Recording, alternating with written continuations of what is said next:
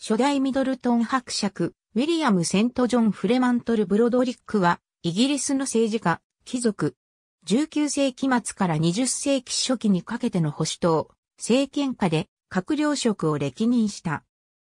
1907年にアイルランド貴族第9代ミドルトン氏爵位を継承し、1920年には連合王国貴族ミドルトン伯爵位を与えられた。1901年7月18日のバニティフェアに描かれた似顔絵1856年12月14日にアイルランド貴族の第8代ミドルトン子爵、ウィリアム・ブロドリックとその妻オーガスタの間の長男として生まれる。イートン校を経て、オックスフォード大学ベリオールカレッジへ進学。1880年から1885年まで西サリー選挙区から選出されて庶民院議員を務めた。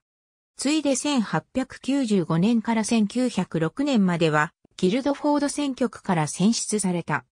1886年から1892年にかけての第三代ソウルズベリー侯爵ロバート・ガスコイン・セシルの第二次内閣で陸軍省財務長官を務めた。ついで第三次ソウルズベリー侯爵内閣では1895年から1898年にかけて陸軍省政務次官、1898年から1900年にかけて外務省政務次官を務めた。1900年11月に陸軍大臣に就任し、アーサーバルフォア内閣期の1903年10月まで務めた。1903年10月からインド大臣に転任し、バルフォア内閣が下野する1905年12月まで務めた。1907年4月に父が死去し、ミドルトン子爵位以下父の保有爵位3つを継承。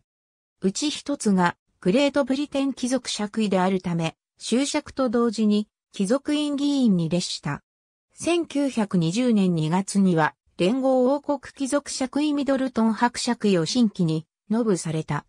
1930年から1942年にかけてはキングストン・オン・テムズの大侍従を務めた。1942年2月13日に死去した。1907年4月18日に父ウィリアム・ブロドリックの死去により以下の爵位を継承した1920年2月2日に以下の爵位を新規に述べされた。